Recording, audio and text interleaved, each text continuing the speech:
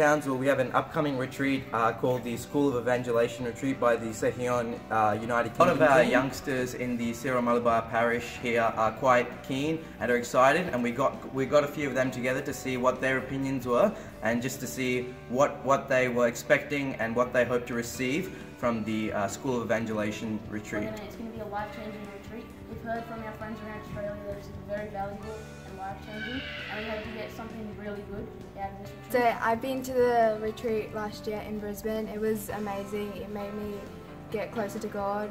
All I had have to a take really good like, relationship. um, a good relationship with God and Jesus. We hope to create like a good bond, like Josh said. A really good generosity to other people. We also like hope to become better people overall.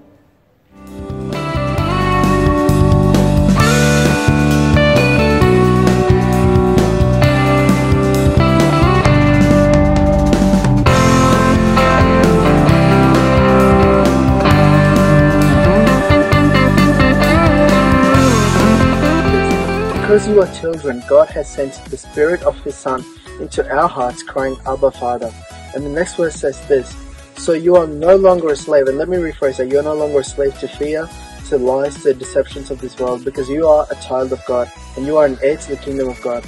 And so, guys, I would like to prayerfully invite you all to the School of Evangelization retreat happening this year. We will be there. When will you?